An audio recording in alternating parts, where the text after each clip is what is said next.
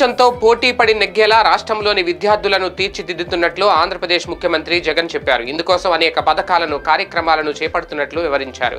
చదువుకునే పిల్లలకు శారీరక ఆరోగ్యం కోసం గోరుముద్ద పథకాన్ని అమలు చేస్తున్నామని తెలిపారు.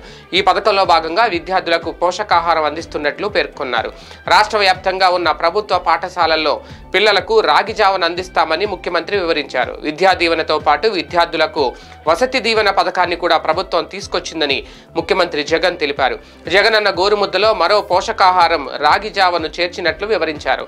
ఒకటి నుంచి పదో తరగతి వరకున్న ప్రభుత్వ పాఠశాలల్లో విద్యార్థులకు రాగి జావను అందిస్తామని చెప్పారు. వైసీపీ ప్రభుత్వం అధికారంలోకి వచ్చాక పిల్లల సర్వతోముఖాభివృద్ధికి అవసరమైన చర్యలు తీసుకున్నామని తెలిపారు జగన్.